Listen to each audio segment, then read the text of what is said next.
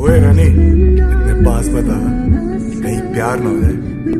और तू भी राजा मुझे ऐसे मत देख मैं कोई खाने की चीज़ नहीं हूँ। तो फिर क्या है? हमेशा हमेशा के लिए।